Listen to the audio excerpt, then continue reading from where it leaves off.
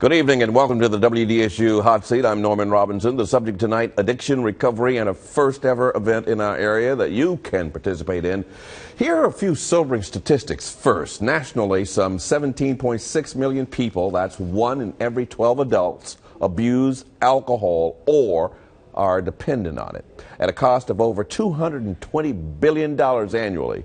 When it comes to drugs, more than 10 million Americans are abusing prescription medications while the use of illegal drugs like heroin, crack cocaine, and marijuana rages on and is well documented. Tonight, my guests are Mary Lou McCall and Terry Smith experts in the field of addiction and recovery. Thank you uh, both for being here, ladies. Um, a recent report, I want to start with this report to the British Medical Journal, okay. uh, which said, um, which is said to be the largest study of its kind ever on harmful drugs. It lists alcohol as the fourth most dangerous after uh, heroin, crack, and crystal meth, and the second most damaging to society. What's your reaction, Terry? Um, that it follows all other reports that have come out. Alcohol really, by a lot of people, is misunderstood, and they don't even think it's a drug. People don't see it as a drug, and it certainly is a drug. I mean, if you were on the wagon train and I had to cut your leg off, it was the only drug I could use. What's interesting to me about that report is the other drugs that you named are all illegal, and alcohol falls in there as a top problem maker for society and the individual, and yet it is a legal drug for people over what, the age of what 21. What is the difference? We, we, it, it, it, it makes a, two distinctions here individual harm and societal harm. What, what, what is the difference, Mary Lou? Well, I think the two go hand in hand, actually. You have individual harm where the person becomes addicted, either abuses it and then becomes addicted and can't stop. And so there are a myriad of things that follow out of that, and society is affected. First of all, the individual is sick and can't stop until they get help.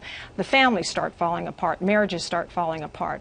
Um, society starts falling apart because there's an increase in violence and crime out there because oftentimes people are trying to pay for their habits because they can't work anymore. And so it really crosses all the lines there.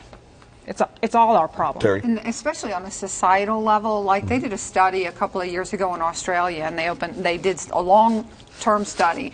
And if they opened one pub that had a bar in it a night, it increased calls, two calls a night for service to the police department.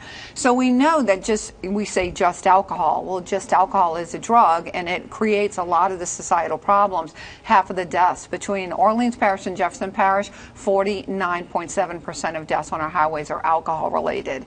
It is the number one cause of death in the 15 to 24 year old age range. So alcohol has problems that people don't want to look at.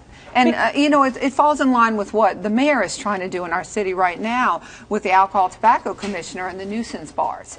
We have enough establishments that will follow the law, and if you legally use this substance, it's, you know, then it's fine. It is legal over the age of 21.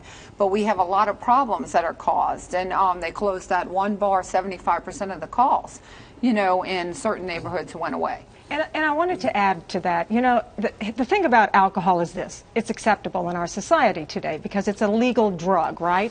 And in moderation, it's okay. But what happens is what people start doing at younger and younger ages, our children are drinking under the age of 21, and their brains are not fully developed. And so, therefore, they're rewiring their brains, and the alcohol is actually hijacking their brain's development, their free will. And so, people who would normally not become either uh, abusers or addicts end up crossing over a lot sooner than they would have later on in life. And that's a big problem that people don't understand. Well, there's still some, some debate about the, uh, alcoholism in terms of whether it's a, um, a genetically predisposed condition or not. You know what I want to say to you about that? Here's the deal. This is what I've discovered from my own personal experience. You know, you can some people are born and they just love it the moment they start drinking. There are other people who later in life, I was one of those later in life, who uses it as a coping mechanism and have poor coping skills. And so you cross over by, by abusing it, abusing it, and abusing it, you can cross over the line. But the common denominator is once you've crossed that line, you can no longer drink. You can move into that section. So we can teach young people about coping mechanisms to avoid the issues, to release their stress, to not self-medicate, to not anesthetize themselves. And, you know, while there's some debate about that, the American Medical Association defines it as a disease.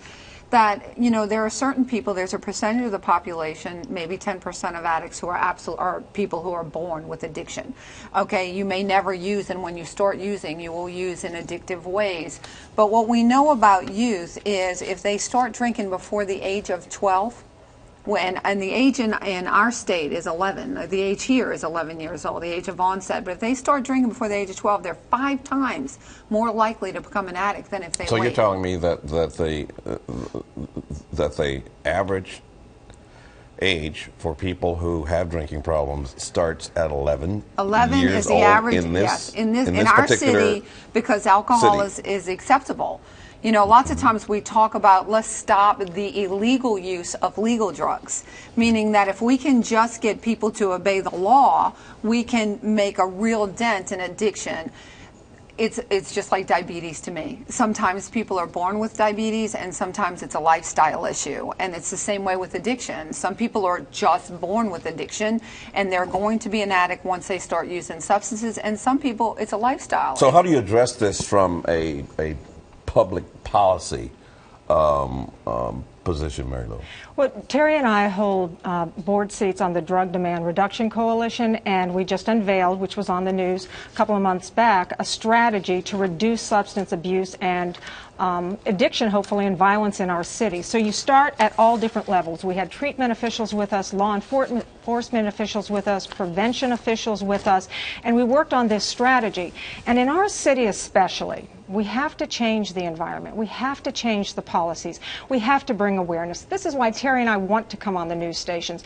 If we can talk about this issue of substance abuse, of addiction, inform people, educate people, and educate parents of what to look out for with their kids so their kids do not cross over into this. Educate policymakers about laws that will curtail the use of it in neighborhoods, to not have the shops in the poor neighborhoods that are selling malt liquors and some of these things. In some of the poorest neighborhoods, you'll find a but condensed how, number. How, how, how, do you battle the political and economic um, aspect of this, um, this particular you it's can do it. that we're talking about. You can do is it. Tell big, me about Kentucky. It is a big battle. It really is a big battle because especially here, when you start to talk about alcohol, everybody sort of backs off because they don't want to address the problem because they're afraid that they're like saying, well, you know, we have tax revenues that come from a lot of alcohol and we, what we know though is when we took every single alcohol license in the city of New Orleans and put it on a map, and we laid on top of that map every single violent crime, and it was perfect it laid on top of each other perfectly. And that's with the exception of the French Quarter because it's our crown jewel and so it's well policed. But in those neighborhoods where they have a large access of alcohol, they also have a, a, lot of crime. And that's what the science of prevention will tell you. So we're not talking about changing the way we live in all aspects. We're talking about changing the part that's not healthy. I want to continue to pursue that, but I got to take a break. We, okay. we got to take a, a quick pause now, but when we come back, what is the walk for recovery all about, and why should you care? Back in a moment.